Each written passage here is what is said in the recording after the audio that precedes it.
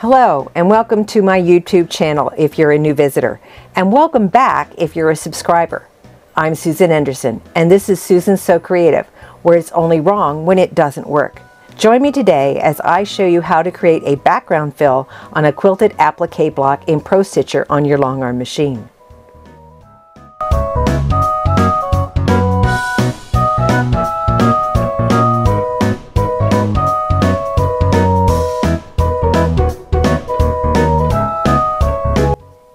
In order to do an applique block, I'm going to first start with my background fill. I'm going to choose the fill that I want.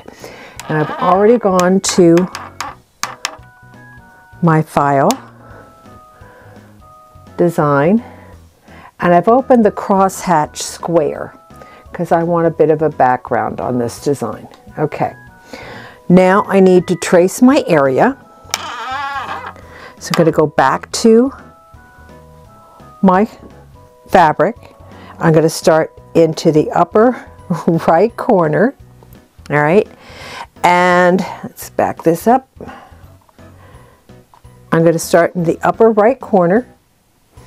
And then on my screen, I'm going to go to area. I'm going to touch multi-point, slide my machine to my next corner, touch multi-point again, slide it down to the bottom right, touch multi-point, and the bottom left, and touch multi-point. Now I've got my block laid out. Now on my screen, I'm going to just refresh the entire screen so you can see there's my block and here's my background fill. So I'm going to go to modify, I'm going to go to skew, and I'm going to select border skew. And it's going to fill my design area. You see that? Okay, so we have the design area taken care of. Now, I'm going to set that by touching my baseline I'm going to go to save and I'm going to save the workspace. I'm going to select the number one workspace. Come on, think. Here I am. And press save and yes, I'll overwrite it.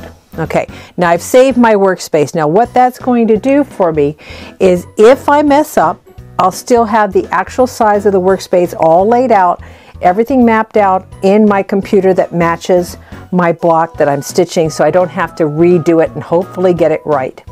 So right now, we've got that all saved. Now, once I've got that done, a little bit more for you. Okay, we're going to go ahead and go to area and I'm going to clear the area.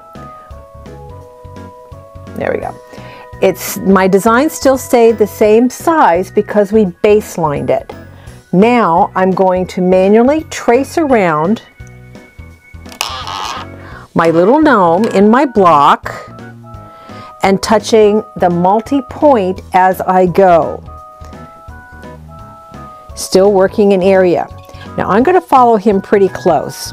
I'm using a laser pointer that is available for my Janome QMP18 and I'm running that just about a 16th of an inch off the edge of my my pattern or my, my applique. So we're just going to go ahead and every time I want to do a slight change in direction, I'm going to,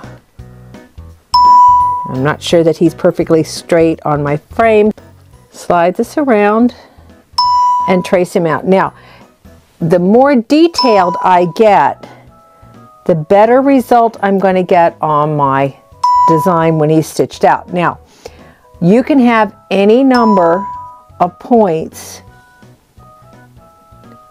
There we go. Any number of points that you want to in tracing a design area. You don't have to do four, you don't have to do six or eight. You can do 135, you can do 300.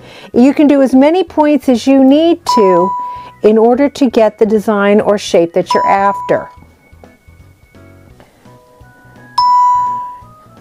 And I'm just going to trace him off like so. Now he's going to take a little bit of time.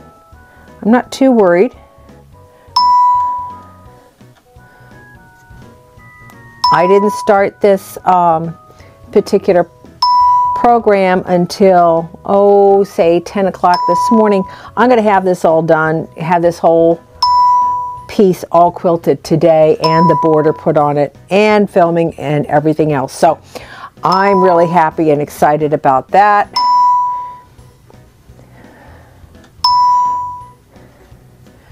So again, just take a couple of little extra time to get the shape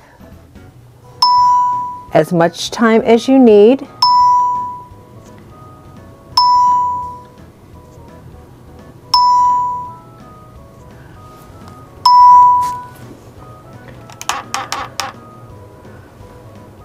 I'm going to back up here so that you can see I'm getting the shape coming out into my background. Now we're still tracing the design area here, so I'm not ready to do any modification or cropping or anything yet. I will as soon as I get my whole design.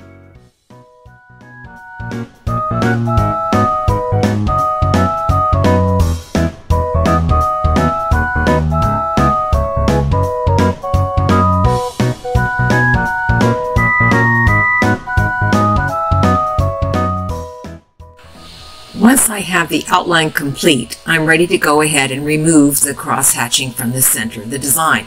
So I'm going to go to Modify. I'm going to select Crop. I'm going to go over to the far right side, select Edges, and then Inside. Inside will remove the design stitching from inside so it won't stitch across my applique. I have one more process before I'm ready to stitch this out. After I've got it the way I want, I'm going to go ahead and go over to baseline. I'm going to go to file and I'm going to save and I'm going to save my workspace and just write it over say number two and just save it that way. That way that's in case anything should happen in while I'm stitching it, I've already got it set. So I'm ready to touch quilt, turn on my options, now I'm ready to just go ahead and let my Pro Stitcher take over and stitch out my design. And we'll zoom down here so you can watch.